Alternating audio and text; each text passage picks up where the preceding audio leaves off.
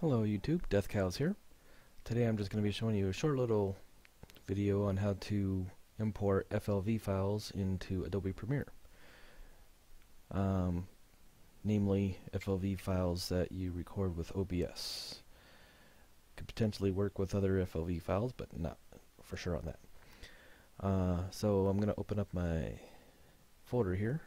Here's the uh, FLV file that I created what I'm going to try to do is drag that into Adobe Premiere. And as you can see, as I drag it, nothing's really going to happen because it's not a recognized format. So what we'll need to do is use OBS Studio and remux the FLV into an MP4 file, which Adobe Premiere will then be able to recognize. So I'm going to pull that up here. Looking for Studio.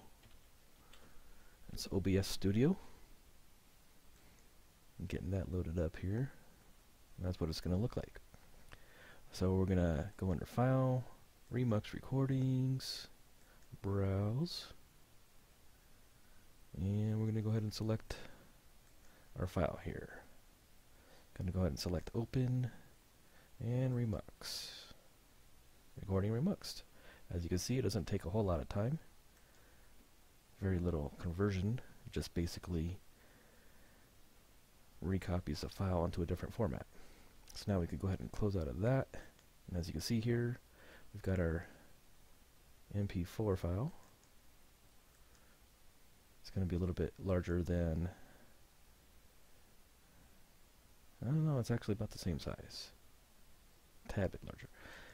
Now we could go ahead and drag it over to Adobe Premiere. And as you see, it's doing something. So we got that loaded.